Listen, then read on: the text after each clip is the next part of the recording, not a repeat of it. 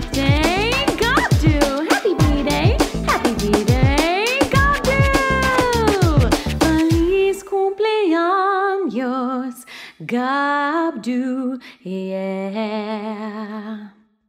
One happy birthday dot com.